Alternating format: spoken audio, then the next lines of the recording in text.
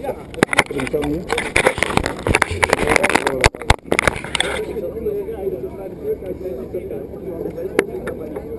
Eerste sprong vandaag.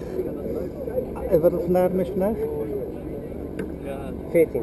14 augustus 2010. Christian van der Belt. Eerste static line sprong.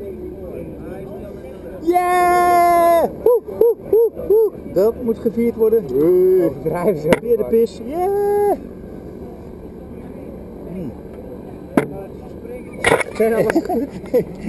Ik vind het leuk. Ik vind het leuk. Hij vindt het ook leuk. Ik vind het ook leuk. Hij vindt het ook leuk, hè? Ja? Ja, ja. Ik zet je uit, hoor. Ja, hoor. Dag, dag.